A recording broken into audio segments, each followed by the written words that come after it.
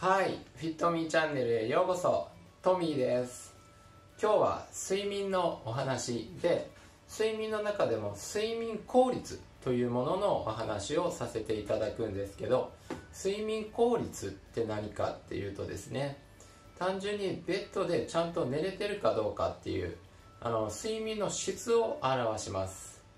で計算で出していくものなんですけどえっと、ベッドに入った時間とベッドに出た時間がありますよね。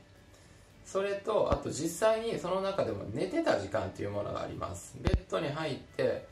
あのあれですねすぐ寝れるっていう人もいると思いますしすぐ寝れないっていう人もいると思うんですね。なのでその実際に寝てた時間例えば、えっと、昨日8時間ベッドに寝て実際に寝たの寝れたのは多分7時間だなって思うとします。そうすると実際に寝た時間割るベッドにいた時間をしていきます。そうすると7割る8なので、えー、8波6 8 72えー、8波6 4 8 8 5 6 8.75ですね。8.75ということはかける100で、まあ87%あかける10か。まあ、87%寝れてるっていうことになります。ベッドにいた時間の中で。で一応睡眠医学の中ではこれが85%以上がいいと言われています。85%以上がいいと言われています。なのでやっぱりさっきだとまあそうですね。長かったらまあね8時間入ってて7時間寝てるのでまあ平均平均というか分かりやすくすると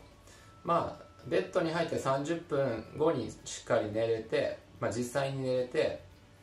でベッドから、えっと、目を覚まして30分後にベッドに出る。それぐらいであれば大体87.5%っていう形なので、まあ、睡眠学的には、ま、目指してるものっていう形になりますね。なのでこの睡眠効率っていうのが自分がどれぐらいかっていうのが85%以上がとてもいいあの欲しいかなと言われてる数字です。でなんでこの睡眠効率がいい大切かっていう話になるんですけど睡眠の質を表すかっていう話なんですけどベッドの中でやっぱり考え事とかなんか寝る以外のことをすると体がベッドイコールそういう考え事とかあとは寝る以外のことを何て言うんですかねする場所だって記憶するんですね。記憶っていうかまあ反応するっていう形なんですけどあとは準備するっていう。そうするとやっぱりベッド以外睡、え、ベッドは睡眠以外のことっていう記憶が記憶っていうか反応が起こっておそらく睡眠の質が下がってくるっていう形になると思うんですよね。単純に気が散ったらその集中しているものにこう集中力分散しますよね。それと同じだとは思うので理想としては85%以上は欲しい。っていうのが理想になります。もちろん量を確保するっていうことも大切なんですけど睡眠の質を良くするっていうこととても大切ですよね。いっぱい寝たのになんか寝た感じしないなっていう時ってたまにあると思うんですよ。でもそういったもしちょっと短くしか寝れないとしてもその質をしっかり上げてあげることがとても大切になります。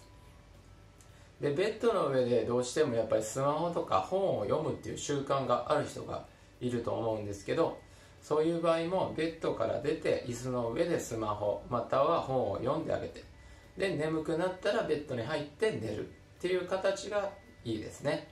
スマホの上スマホの上じゃないベッドの上では寝る以外のことをしないということが理想になります、まあ、お水とか飲むとか大切だとは思うんですけどっていう形ですね。はい今日は睡眠の効率質の話をさせていただきました。自分の生活に当てはめて何パーセントかなっていうのをぜひ出してみてください。はい今日は今日はじゃアクティブスリープ指導士トミーですね。はいフィットミーチャンネルでした。バイバイ。スリープです。